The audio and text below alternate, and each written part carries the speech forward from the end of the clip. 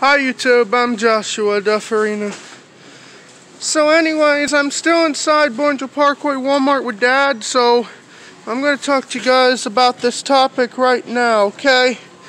Um, you know, being toothless can land anybody to jail for the rest of their lives until they decide to get new teeth. And teeth prices, real teeth prices needs to be changed to uh, $11, okay? Because because really, I really want to say that um, being toothless is wrong as an adult. So I just want to say that being toothless as an adult can get anybody life in prison with parole, with or without parole, until they decide to get new teeth, teeth prices to $11, okay?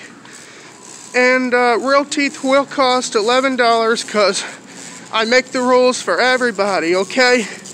I do show respect to toothless people and um, uh, homeless people, whatever, okay? And besides, being toothless can get anybody thrown in jail for the rest of their lives until they agree to get new teeth, alright? So, I just want to say that too, okay? You know, being homeless as an adult can take somebody to prison, alright? For 20 years. If you're homeless, you go to prison 20 years, okay? And if you're toothless, you'll get life in prison until they get new teeth. And when they get new teeth, they'll get out of prison, alright?